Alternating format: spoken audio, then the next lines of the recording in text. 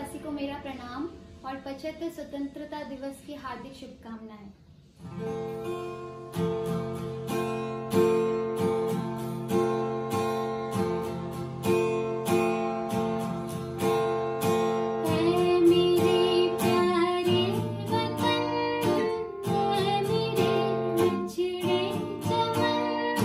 तुझ पे